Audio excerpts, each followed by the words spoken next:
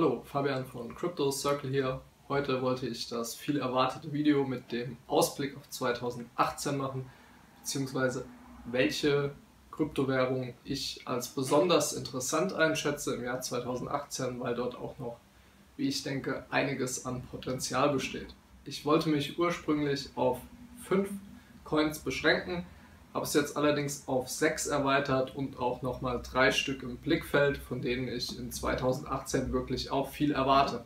Was direkt auffällt, ist, dass außer Dash und mittlerweile auch IOTA keine der Top-Coins dabei sind. Man hätte Ethereum debattieren können, aber von Bitcoin oder auch Bitcoin Cash erwarte ich vielleicht 2018 nicht unbedingt wieder die Wunderdinge, die wir dieses Jahr gesehen haben. Aber fangen wir doch mit dem obersten Eintrag der Liste an. Und das ist bei mir dieses Mal der Binance Coin. Über Binance und den Binance Coin habe ich ja in der Vergangenheit schon geredet. Ich denke weiterhin, dass ähm, Binance wirklich eine sehr, sehr starke Performance zeigt. Im Herbst diesen Jahres hatte Binance noch 100.000 Nutzer. Das ist ja ein sehr junger Exchange. Im Dezember hat man jetzt bekannt gegeben, dass man über 2 Millionen Benutzer feiern konnte. Das ist also wirklich eine extrem gute Entwicklung. Man hat weiterhin die sehr positiven Sachen beibehalten, wie den Community Vote. Das heißt, einmal im Monat kann die Community immer noch abstimmen aus einer Vorauswahl von Coins, die sich beworben haben, welche Coin dort eben gelistet wird das Ganze dann ohne eben die sehr hohen Gebühren, die man normal bezahlen muss, um auf einem Exchange gelistet zu werden. Das hat zum Beispiel meiner Meinung nach auch diesen großen Run von Verge erst ermöglicht, denn hinter Verge steht nicht unbedingt sehr viel Geld. Verge wurde aber aufgrund seiner großen Community schon sehr früh, ich meine es war der erste oder zweite Community Vote, eben auf Binance gelistet und konnte dann jetzt unter anderem auch, da damit der asiatische Markt geöffnet ist, so explodieren im Dezember. Neben der positiven Entwicklung der Nutzerzahlen spricht für den Binance Coin auch, dass sich der Exchange als ICO-Plattform versucht. So hatten wir zum Beispiel den Thron ICO, der über Binance ausgeführt wurde und in Konsequenz hat man, wenn man Binance Coin auf Binance gehalten hat, Thron Tokens bekommen.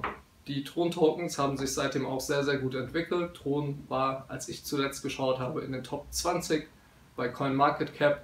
Also auch hier ein sehr guter Anreiz, der wirklich ja, eine gewisse Verzinsung garantiert, sollte Binance eben sein ICO-Geschäft ausbauen können, dass die ja, Leute, die Anteile an Binance halten, sozusagen über den Token, eben auch an diesem Erfolg beteiligt werden und bei zukünftigen ICOs eben auch Token erhalten werden. Als nächstes dann NIO. Warum NIO? Ich erwarte, dass wir in China eben Regulierung sehen werden, dass diese nicht auf ein Verbot von Kryptowährungen herauslaufen wird und NIO hat von dem Run, den wir im Dezember gesehen haben, nicht in dem Umfang profitiert wie andere Kryptowährungen.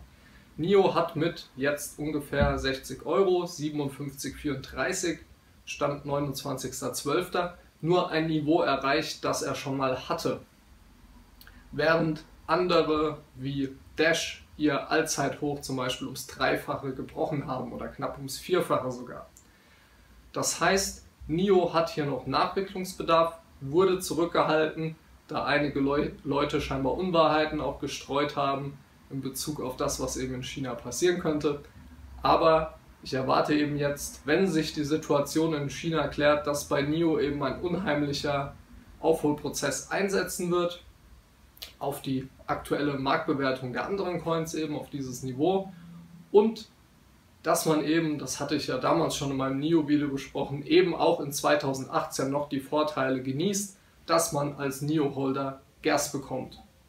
Dieses Gas, dazu muss man das offizielle NIO-Wallet nutzen, außer man hält eben sein NIO auf Binance. Binance bezahlt einmal im Monat das volle Gas an die Leute, die NIO halten, aus.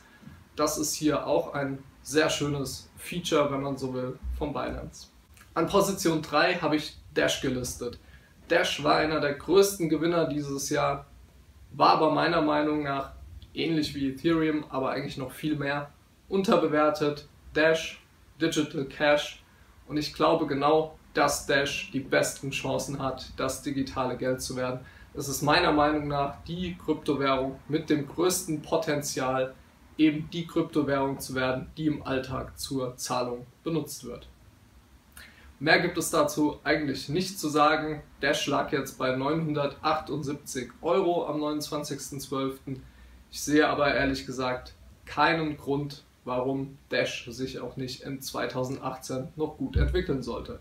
Insbesondere da eben die Online-Banking ähnliche ja, Webseite, dieses Interface für die Nutzer für nächstes Jahr angekündigt ist. An Platz 4 Monaco. Monaco, ähnliches Phänomen wie bei NIO, konnte sich innerhalb dieses großen Runs im Dezember erholen auf ein ordentliches Niveau. Im Fall von Monaco aber sogar immer noch weit unterm Allzeithoch von diesem Sommer. Aber es hat sich auch bei Monaco viel getan. Man hat eben den Status als Visa-Partner erhalten. Man hat Karten rausgebracht und es ist jetzt eben sicher, dass sich Monaco am Markt etablieren können wird. Aufgrund der Struktur, wie das jetzt funktionieren wird, dass man für die Metallkarten die große Vorteile bieten, das hatte ich in meinem Monaco Review erwähnt damals, diese Monaco-Tokens für sechs Monate locken muss, die dann nicht mehr bewegen kann, die sozusagen auf ein Treuhandkonto kommen und dafür bekommt man diese Karte. Das wird, wenn Monaco jetzt durchstartet, die Verfügbarkeit dieser Tokens unheimlich verknappen. Jeder, der aber diese Karten will, muss sie kaufen. Also für diese, zumindest die erste sechs Monatsperiode, wenn die Nachfrage stark ist, könnte Monaco absolut durch die Decke gehen. Das ist aus Investorensicht, wenn man keine dieser Kreditkarten will oder zum Beispiel mehr als die benötigten 50 für die rote Karte erhält, sehr, sehr interessant. Denn die Marktkapitalisierung, das ist ja bei Monaco entscheidend, da Monaco eine Firma ist und keine Währung, wie zum Beispiel Dash. Und wenn wir sehen, die Marktkapitalisierung nur 184 Millionen Euro, 10x ist hier zum Beispiel als einziges andere Unternehmen, das solche Karten auf dem Markt hat, schon mit weit über 400 Millionen Euro bewertet. Das heißt, für Monaco besteht hier locker, wenn man so will, noch Verdopplungspotenzial. Und das ganz ohne jetzt diesen preistreibenden Effekt, wie man an die Karten kommt, zu berücksichtigen. An Position 5 und 6, und da habe ich mit mir gerungen, sollen die in die Anwärter beide oder eben beide rein. Aber ich denke, 2018 werden wir in Sachen IoT-Anwendung und Blockchain bzw. Tangle sehr, sehr viel Bewegung sehen. Und deswegen habe ich mit IOTA und Rayblocks die beiden vielversprechendsten Anbieter meiner Meinung nach reingenommen. Rayblocks ist leider nur auf BitCrail gelistet, hat aber noch eine sehr, sehr niedrige Marktkapitalisierung von 1,7 Milliarden Euro und ist nach meinen Recherchen wahrscheinlich als der stärkste Konkurrent für IOTA zu sehen in diesem ganzen IoT-Bereich. IOTA ist jetzt gefallen im Kurs, liegt jetzt noch bei 3,10 Euro ungefähr.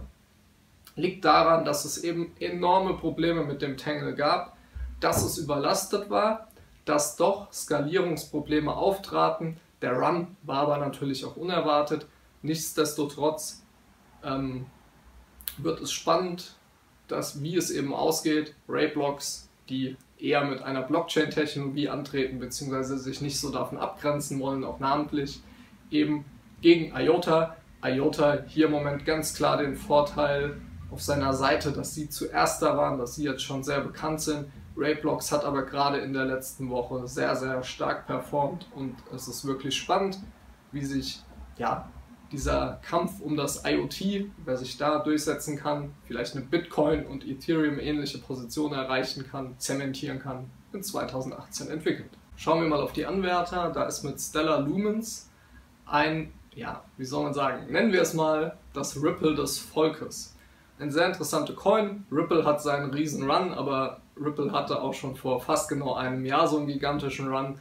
Und bei Ripple ist es immer so, dass viele Leute es einfach missverstehen, wenn großartige News wie jetzt von Banken aus Japan und Südkorea kommen, dann drehen alle immer am Rad und erwarten, dass die jetzt für Milliarden Yen und Milliarden Won Ripple kaufen werden. Das tun sie aber nicht. Die Banken testen wie immer nur die Technologie. Zumindest konnte ich nichts anderes finden. Und dann ist es halt extrem spekulativ, deswegen jetzt sein Geld in Ripple zu kippen. Ganz anders sieht es bei Stellar Lumens aus. Dieser Coin, der auch schon jetzt sehr lange unter dem Radar geflogen ist, ist im Prinzip sehr, sehr ähnlich zu Ripple, aber eben dafür gedacht, Mikrotransaktionen und auch große Transaktionen für Privatleute zu ermöglichen. Im Endeffekt hat man nicht das Problem wie bei Ripple, dass auch sehr, sehr viel bei Ripple liegen, unglaublich viele Coins bei den Entwicklern. Das wird oft vergessen, die Zahl auf CoinMarketCap für im Umlauf befindliche Ripple ist vollkommen falsch. Wen das interessiert, der kann gerne mal googeln, denn hier soll es nicht um Ripple gehen. Aber wie gesagt, wenn man an eine solche Lösung glaubt, unabhängig von den Banken, dann ist Stellar Lumens sicher ein Blick wert. Tron habe ich auch mal in die Liste der Anwärter aufgenommen, möchte da jetzt aber gar nicht so viel drüber reden. Da plane ich auf jeden Fall ein selbstständiges Video nächster Zeit dazu. Auf jeden Fall, wenn es dich jetzt schon früher interessiert, kurz mal ein Auge drauf werfen und, und vielleicht entscheidest du dich aufgrund deiner eigenen Recherchen zum Zuschlagen. Als letzter Kandidat und ich wollte unbedingt noch eine wirkliche Privacy Coin drin haben, denn das kann 2018 natürlich, gerade wenn jetzt Regulierung kommt, und davon gehe ich aus, wie ich in einem anderen Video schon gesagt hatte, ähm, sehr, sehr interessant werden, der ganze Markt. Deswegen sind viele dieser Coins auch schon stark gestiegen. Beispielsweise Monero dieses Jahr Monero halte ich allerdings immer noch für absolut unhandlich und wird für technisch nicht versierte Nutzer nie eine wahre Alternative werden können, da es einfach zu unhandlich ist. Trotzdem werde ich natürlich auch da die Entwicklung im Auge behalten. Die Wahl fiel aber auf Zencash. Zencash ist ein Fork von Zcash. Zcash auch eine der größeren Privacy Coins und soll natürlich einige Fortschritte bieten. Was aber wichtig ist, ist, dass Zencash immer noch komplett unter dem Radar fliegt und das finde ich sehr interessant. Vor einigen Monaten hatte Zencash mal einen starken Aufwärtstrend gezeigt, ist jetzt aber wieder komplett aus den Top 100 von CoinMarketCap rausgeflogen. Ich halte es aber für eine sehr solide Coin, ähnlich wie zum Beispiel Pivex. Pivex hat aber in letzter Zeit wirklich sehr viel Aufmerksamkeit bekommen, ist aber immer noch relativ ähm, günstig. Auch hier nicht zu sehr im Detail, denn dieses Video geht schon sehr lange. Ich werde aber auch einen Überblick über diese ganzen auf Privatsphäre fokussierten Coins demnächst geben. Und ich muss noch mal ein Wort zu Binance sagen, da ich jetzt auch hier die Binance Coin erwähnt habe. Der Channel ist nicht von Binance gesponsert oder so. Ich bin da wirklich ähm, davon begeistert, genau wie ich früher immer Bittrex oder eben Poloniex empfohlen habe in meinen Videos. Von Poloniex bin ich mittlerweile sehr enttäuscht. Es gibt zwar keinen Grund, jetzt wegzugehen von dem Exchange, aber die Entwicklung steht meiner Meinung nach wirklich still. Bei Bittrex ist auch nicht so viel passiert in ähm, 2017 und Binance zeigt eben einfach unglaubliche Aktivitäten, unglaublichen Drive, besser zu werden und man merkt das auch. Ich habe ja bei der Binance Coin und in meinem Review zu Binance ein bisschen erwähnt, warum. Deswegen bin ich von dem Exchange wirklich begeistert, nutze ihn mittlerweile mehr und mehr und ich kann wirklich jedem nur empfehlen, wenn du es noch nicht ausprobiert hast, melde dich doch an. Der Link ist unten in der Beschreibung und du kannst dem Channel, wenn dir Binance dann gefällt und du dort tradest, wirklich auch sehr weiterhelfen. Das soll es für dieses Video auch schon gewesen sein. Falls dir das Video gefallen hat, denke dran, wie immer, Abonniere den Channel, falls du noch nicht getan hast, like das Video und teile es mit Freunden und Bekannten, die sich auch für Kryptowährungen interessieren oder interessieren sollten. Vielleicht ist dir auch aufgefallen, dass ich heute nicht in gewohnter Umgebung bin. Ich bin gerade für ein paar Tage in London auf Besuch. Wahrscheinlich wird es nochmal ein Video aus London geben und dann sehen wir uns wieder wie gewohnt aus Frankfurt.